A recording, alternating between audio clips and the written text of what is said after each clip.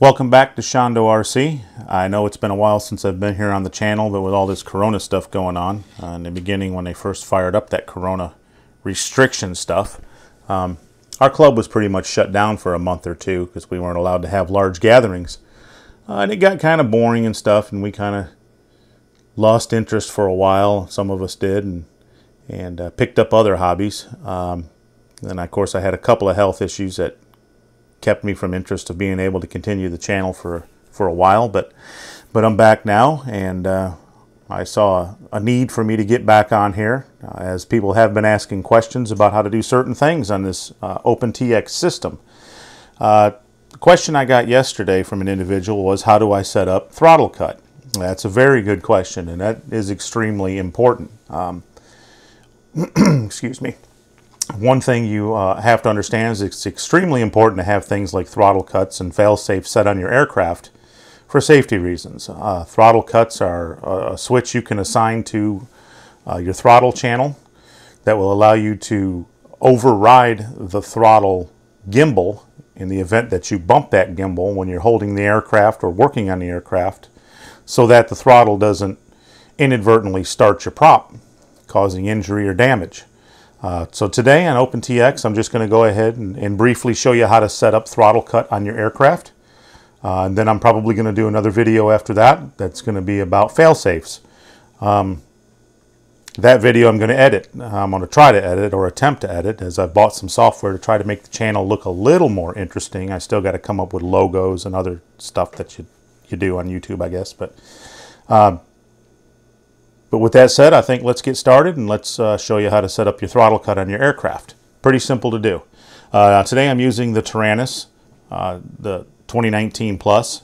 Um, now keep in mind that setting up this throttle cut is extremely easy to do and this is probably something you should do on all your aircraft.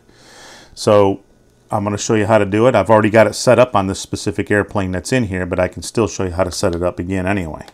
So let me turn the radio on. Welcome to OpenTX. and my aircraft that's selected on there is going to be a Carbon Cub. Now the first thing you need to do is you need to access all your pages. And of course to do that you're going to hit Menu. And once you get to this list you'll see the star of the selected aircraft that you have. And then from that point on you can start hitting pages. So what we want to do is we want to keep paging over till we get to a page called Special Functions and there it is. And you can see I've already got mine set up to override channel 1 and channel 1 is my throttle channel on this specific plane and on most of my planes for that matter. Um, but I've got it set up if you notice on there twice because it's for two specific switch positions.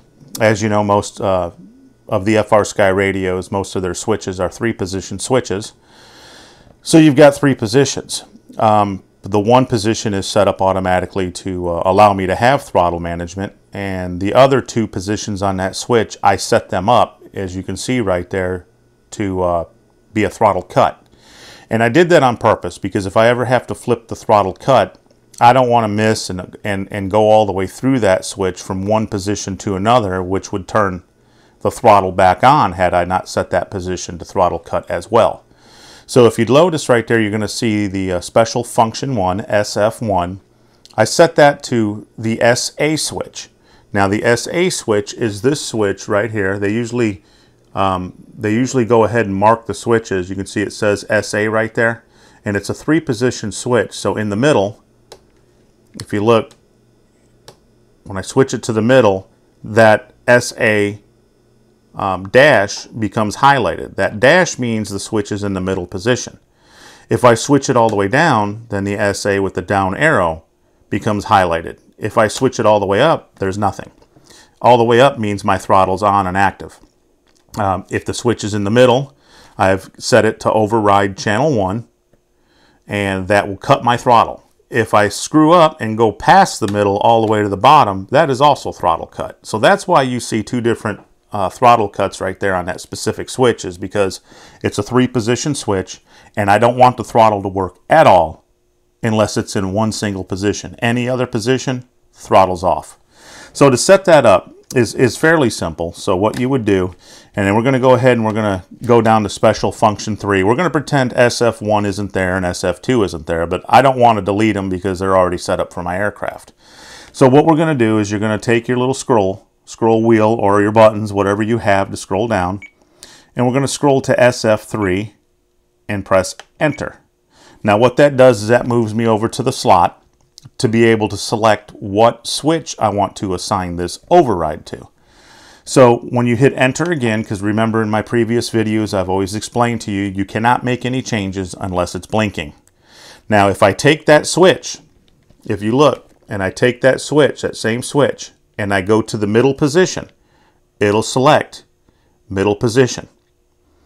Now what it does from there is it has told this system that it will override channel 1 when the switch is in the middle position. Go ahead, hit enter again, and when you hit enter, that allows you to scroll over to the next one.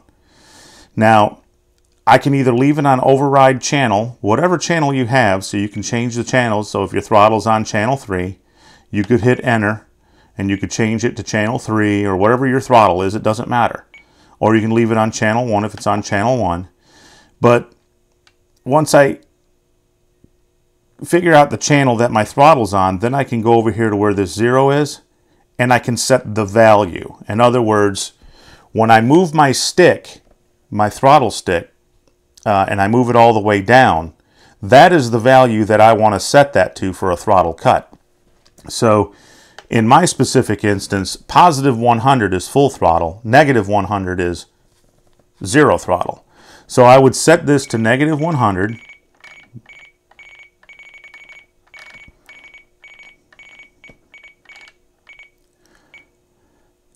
hit enter again to stop it from blinking, and then I'd go over here to this little box that I've just highlighted on the right hand side. If there's no check mark in it, that throttle override will not work. The only way that works is if you scroll over to that box and you hit enter and you put a checkbox in it. Now what I have done is I have activated that function. If that checkbox isn't there, it's not activated. So I need to activate that function in, other, in order for that throttle cut to work if I flip that switch.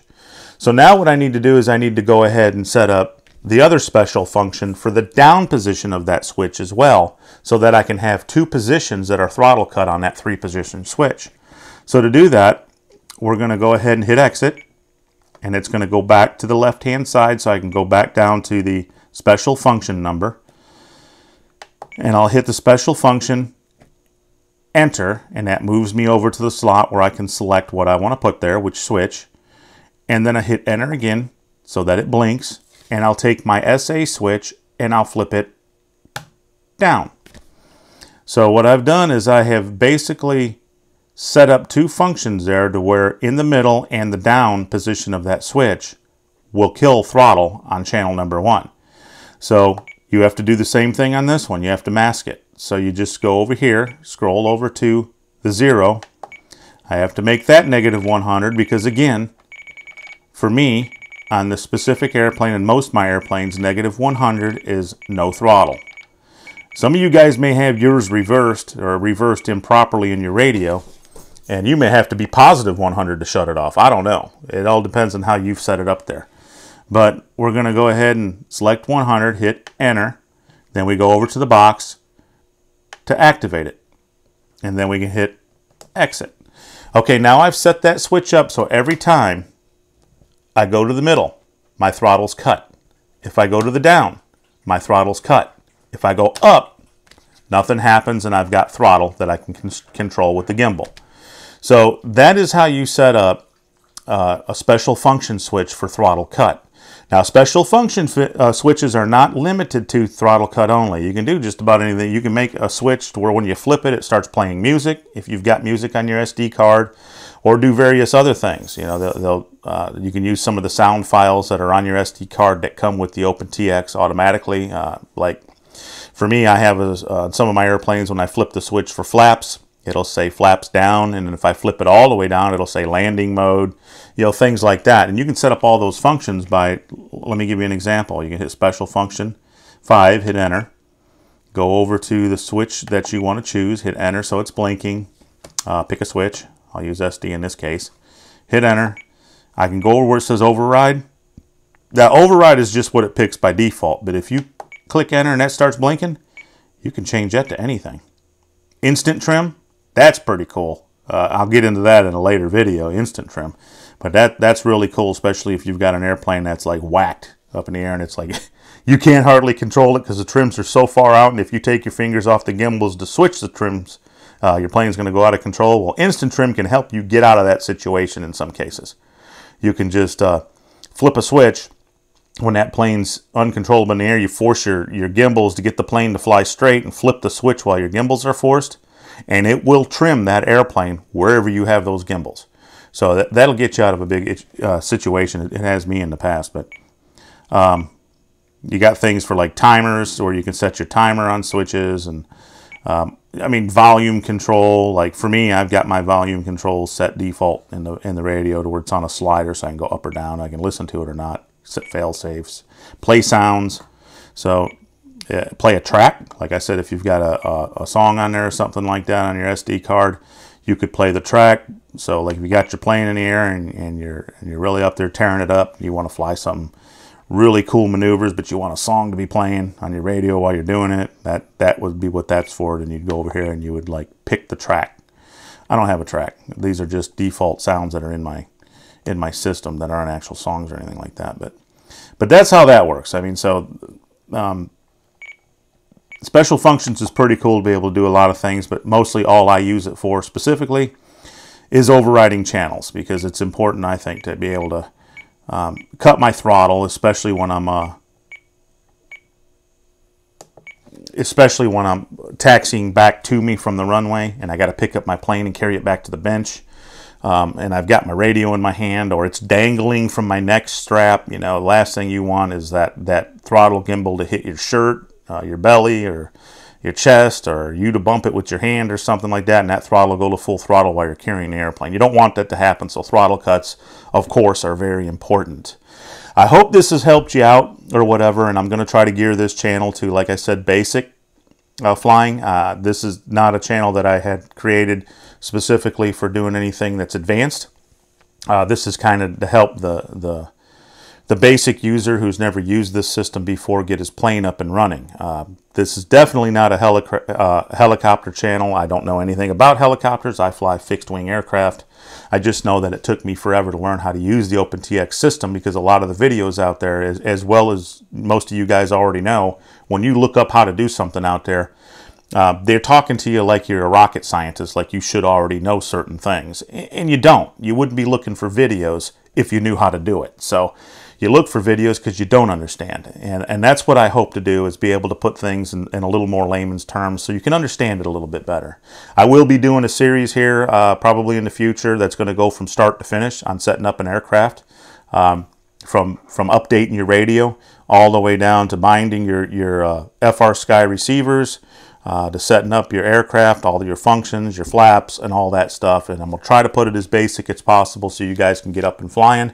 My goal is to do it basic so that after you learn how to do the basics, you can learn all the advanced stuff on your own. You just need an understanding of the radio and OpenTX.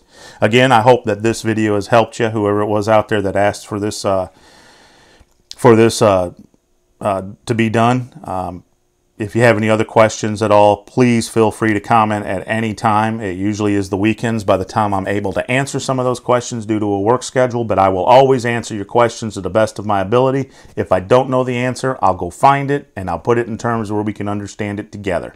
If you like what you saw, go ahead and hit subscribe and like, and stay tuned for the next video.